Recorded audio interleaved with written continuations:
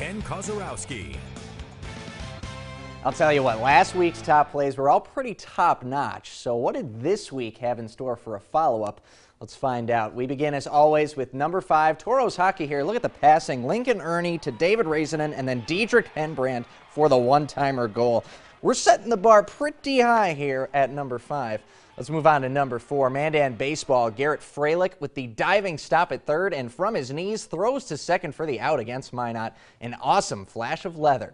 For number three, we go back to the Toros. Taylor Lance with a great move around the defenseman and then a second effort to get a goal. The Toros take a 2-0 lead in their opening playoff series.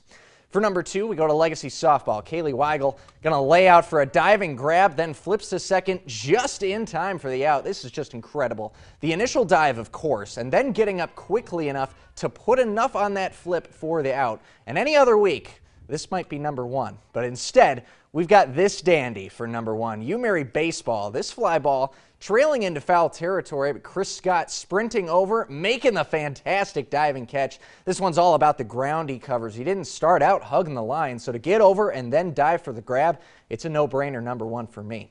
And on that dandy of a catch, those are your plays of the week.